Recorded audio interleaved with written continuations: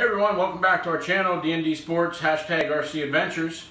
Um, today's video is going to be short and sweet. And it's not about a truck and it's not about anything we're doing, even though I do have a, uh, a Slash four-wheel drive sitting here with me.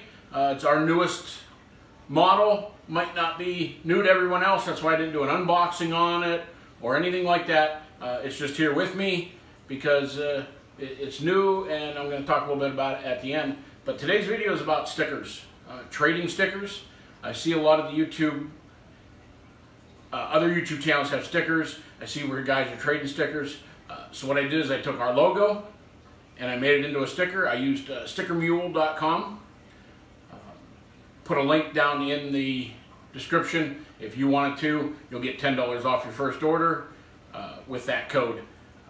but the stickers they're, they're very high quality, very nice stickers. You can get them as big as you want, as small as you want. Um, these ones, are actually a little bit bigger than what I wanted for uh, a car. So my next order is probably going to be some smaller ones. Maybe we can uh, detail up a car with them, put them on a car. Uh, we'll, we'll, see what happens there, but um, a little bit bigger.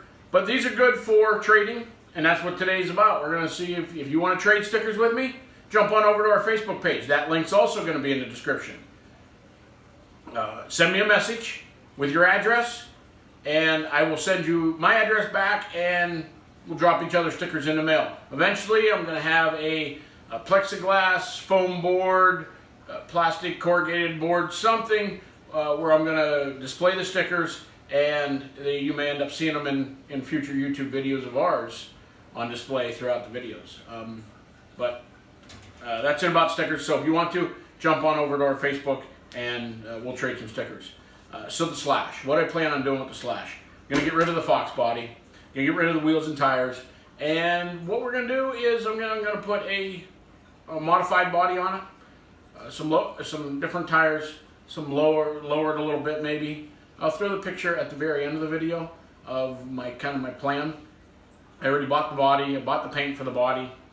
Uh, I haven't bought the wheels and tires yet, but those will be coming. Uh, once I get it all done, maybe then we'll do uh, a little overview of the truck, a video of the overview of the truck and what changes I made to it. I think for the body, like the bumpers both have to come off, things like that. Um, but that's in future videos. But I thought I'd just set it here, let everybody know, hey, it's new. It's new to our um, garage. So, who knows? We'll see what happens with it. But as always, uh, get out there, have some fun. Hashtag RC Adventures, hashtag get outside. Those are the, the hashtags that we're going with. If you want, I search those hashtags. I look for uh, anything with RC Adventure or anything with our uh, Get Outside. So if you want to share your pictures, throw those hashtags on there on social media, and we'll be out there looking for them and check out your ride.